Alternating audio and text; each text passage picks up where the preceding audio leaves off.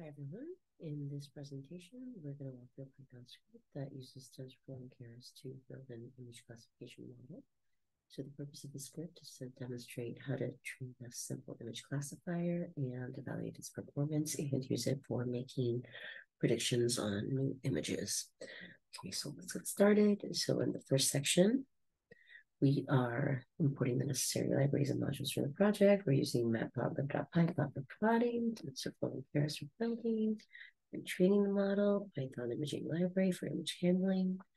So we've also imported specific components like image data generator and um, sequential and other layers from Keras um, that are essential for the different parts of this project. So in this next part, we're going to define some variables, paths that are going to be used throughout the script, and we're going to specify the main data directory, separate directories for training and validation data, and an image path for a new image that we are going to use for prediction. Um, also, we're going to set the number of classes to two, and in this case, it's going to be malignant and benign, and um, the target size for the input images.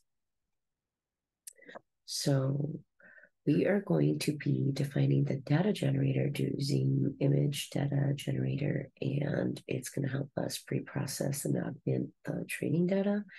And we're going to apply various transformations, um, rescaling, rotation, shifting, shearing, zooming, flipping.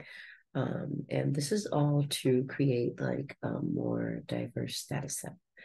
And they're going to enhance the model's ability to generalize so now next, we're going to load and pre-process the training and the validation data using the data generator. And we're going to use flow from directory to load images from their respective directories, apply the pre-processing steps, generate batches of data um, that can be fed directly into the model during training and validation. Validation. Now on to building the model architecture. So here we're going to define the architecture of our image classification model, and we're going to be using a sequential model um, and stacking several layers. Um, the conv2d um, is going to be the 2D convolutional layer, and it's going to be followed by a max pooling 2D so that's another layer. And the flattened layer prepares the data for the fully connected layers. Um, so depths. The last layer is going to use the softmax activation function. And it's going to input or output, I'm sorry, the class probabilities.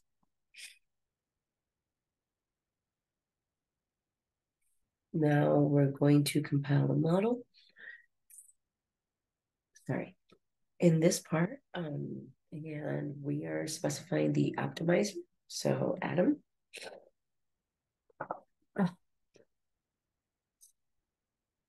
and also the loss function. So categorical cross entropy.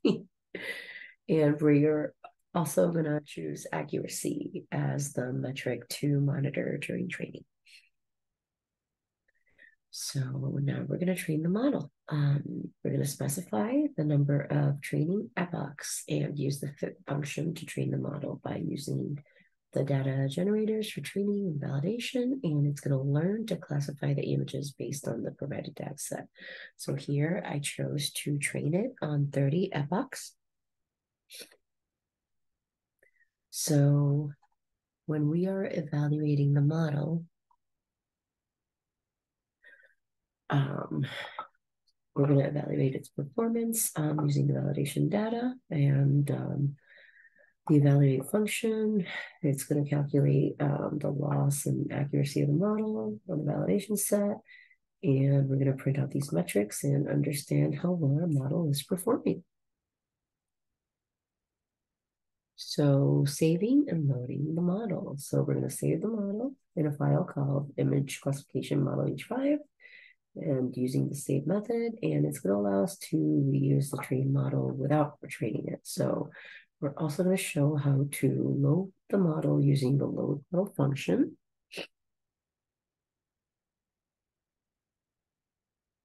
on in this next part. Oops.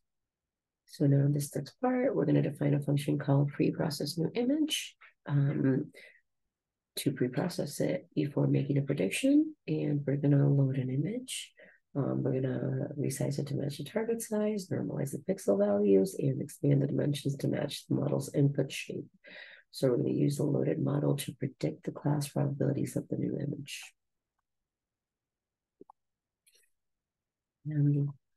Here we are going to display the predictions. So finally, um, the predicted class probabilities and the class names are going to be displayed here for the new image. And these are the, going to be the class names. They're going to be malignant and um, benign. And um, they're going to provide insights into what the model thinks about the content of the new image. So uh, we're going to print the predictions. And now let's run the code and see what it does.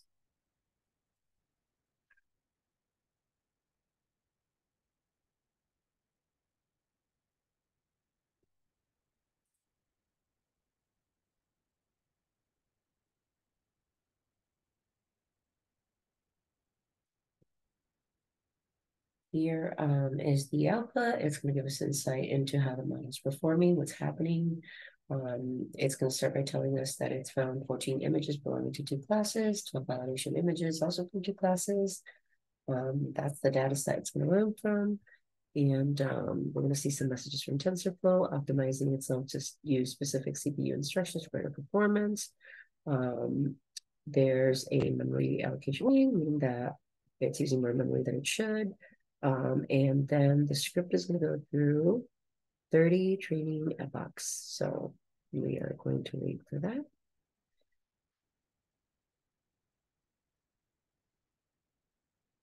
So basically an epoch is like a complete pass through data set. So for each epoch, the script is showing us what's so it's going to tell us about loss or how far off our predictions are from like the actual values and accuracy. So how often like our predictions are going to be correct. And this is going to help us track how well our model is kind of learning over time. So now you can see that the model is improving with the accuracy um, going up and the loss coming down and that is what i wanted and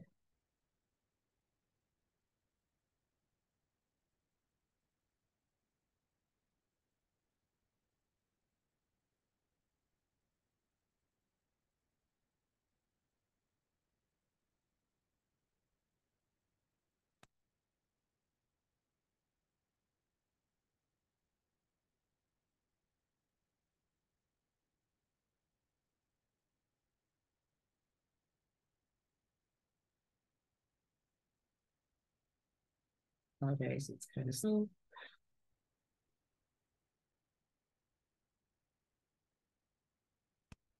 It's going to be increasing.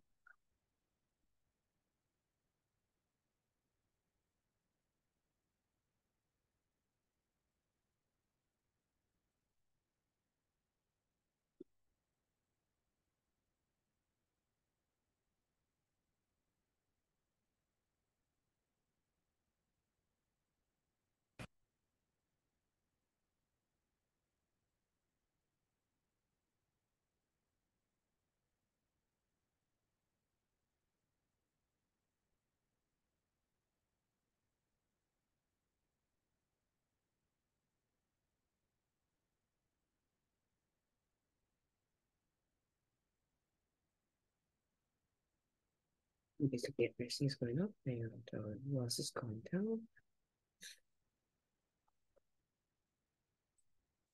I have run this several times and myself each so I apologize.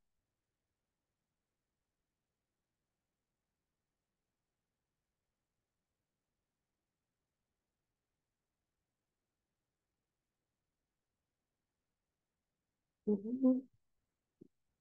Mm -hmm.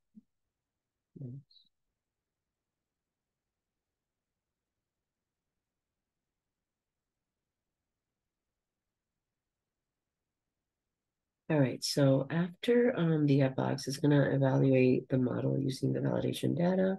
And this this wasn't seen during training. This is to test how well the model is going to, it generalizes to new like unseen images. Um,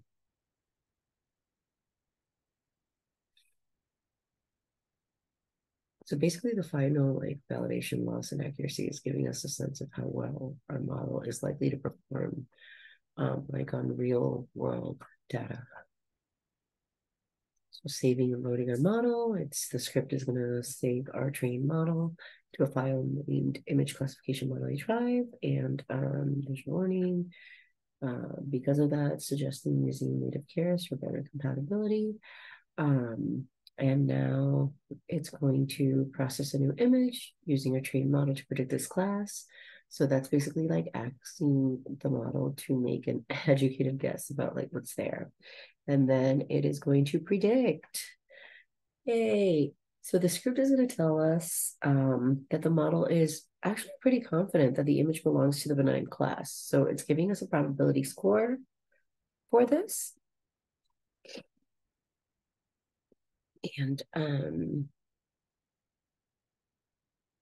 well, the closer the scores to one, you know, the more confident. But um, yeah, it's uh, pretty good. So basically, here you have it. Um, here is the output. We've seen training, evaluation, and saving the model and um, it made a real prediction and it's basically going to help us refine our model and um, trust its predictions more confidently. Um, and thank you so much for your time and have a great day guys